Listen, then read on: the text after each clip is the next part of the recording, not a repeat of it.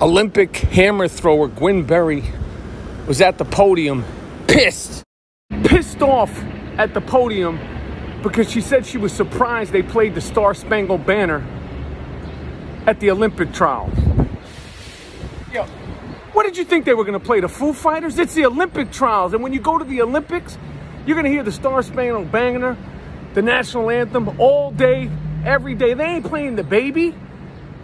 You're not going to hear Stevie Wonder. Oh, that would be dope to hear Stevie Wonder. Shout out to Stevie Wonder. It's the Olympics. I'm all for a protest. I'm all for some disruption, but you know what it is. Don't act like you didn't know they were going to play the national anthem. Matter of fact, I'm not talking about this here.